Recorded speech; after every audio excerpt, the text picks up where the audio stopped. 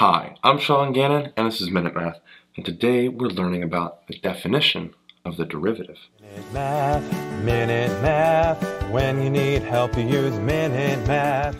We're given this problem right here, y equals 1 over x plus 2, and we need to find the derivative using the definition of the derivative. Now, our definition right here tells us that we can write f prime of x, or y prime, is equal to the limit as h approaches 0 of our function, right, and we're going to put x plus h in for x.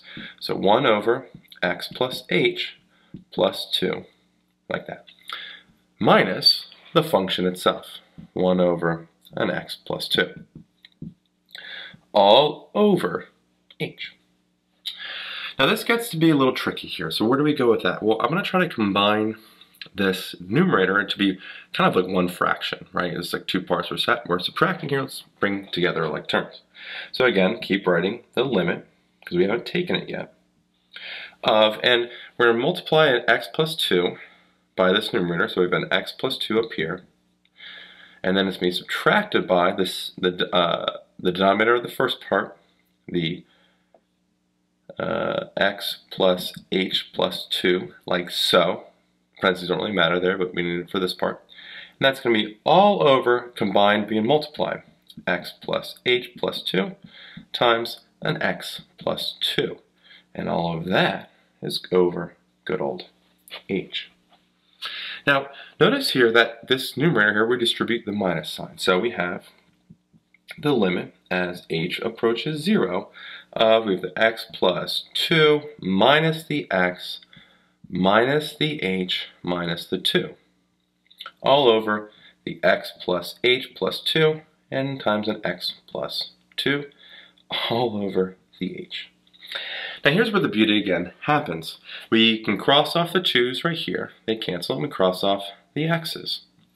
So what does that leave us here? Well, it leaves us with the limit as h approaches 0 of just a negative h value over the x plus h plus 2 times an x plus 2 there.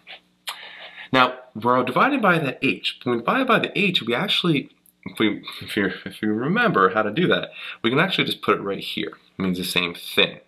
And that helps us visually see that these h's cancel. So again, we have the limit as h approaches 0 of a negative 1 over our x plus h plus 2 and x plus 2. It is now at this point that we can take the limit. We're not dividing by 0 if we do that. We can directly plug in 0 for h, and this is what we get. We have a negative, put the 1 out here, and we have an x plus 2, right, because the h is 0, don't really need to put that in there, and an x plus 2. Simplify that out, negative 1 over, multiply that out, we have an x squared, and then plus a 4x plus a 4. And so our final answer, our dy dx here, our derivative, is a negative 1 over x squared plus 4x plus 4.